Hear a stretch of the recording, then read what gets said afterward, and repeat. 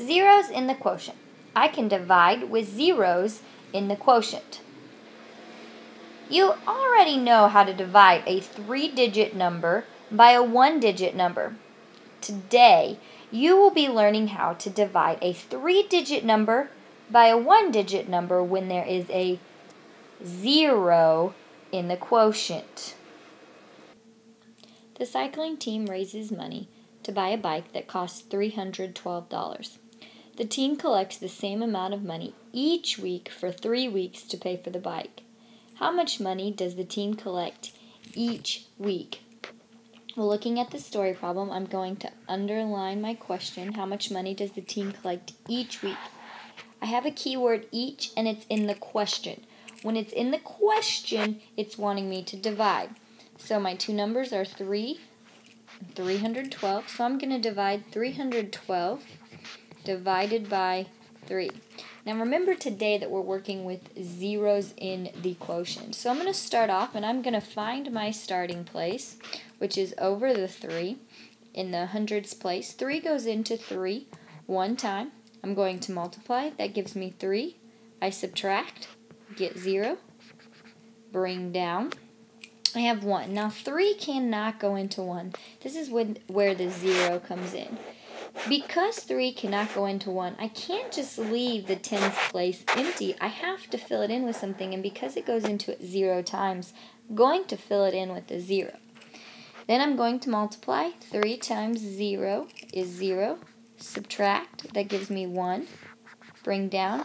Now I have 12. 3 goes into 12 four times. Multiplied, that gives me 12. If I subtract, that gives me 0 left over. My quotient is 104. If I want to be a good math student, I can check my work, and I do want to be a good math student. So I'm going to multiply the quotient times the divisor. 4 times 3 is 12. 3 times 0 is 0 plus 1 is 1. 3 times 3 is 3. My product is the same as my dividend. Let's try this one. If there are 505 seats in an auditorium divided equally into five sections, how many seats are in each section? The first thing that I'm going to do is underline that question, how many seats are in each section. I'm also going to look for keywords. I have each in the question, which normally tells me that I'm going to divide. And then I have divided equally, which are also two big words that tell me I'm going to divide. I'm going to box my numbers. So I'm going to look and I'm going to do a division problem with each in the question. 505 divided by 5. Let's try this one. We have 5 goes into 5 how many times? One time. I'm going to multiply. 5 times 1 is 5. I'm going to subtract. 5 minus 5 is 0. Bring down this 0. I have 0. 5 goes into 0 0 times, so I have to put in a 0 up in my quotient. I can't leave that spot blank. I must fill it in with the 0. Then I'm going to multiply. 5 times 0 is 0. Subtract. That gives me 0 bring down my 5. 5 goes into 5 one time. 5 times 1 is 5. Subtract, that is 0. I have 101 for my quotient. Now, if I want to be a good math student, what am I going to do? That's right, I'm going to multiply to check. 101 times 5. 5 times 1 is 5.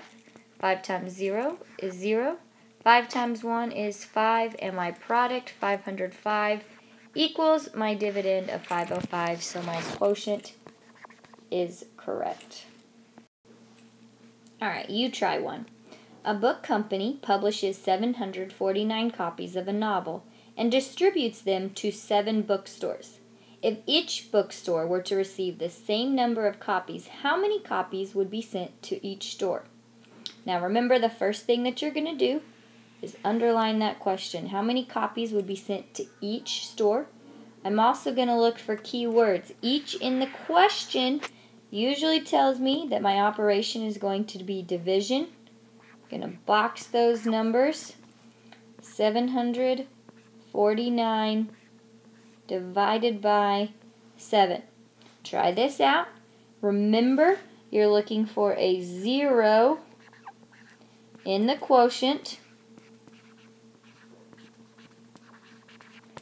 And put your answer on Edmodo. Once you get your answer to Edmodo, uh, you also need to explain why you have a zero in the quotient.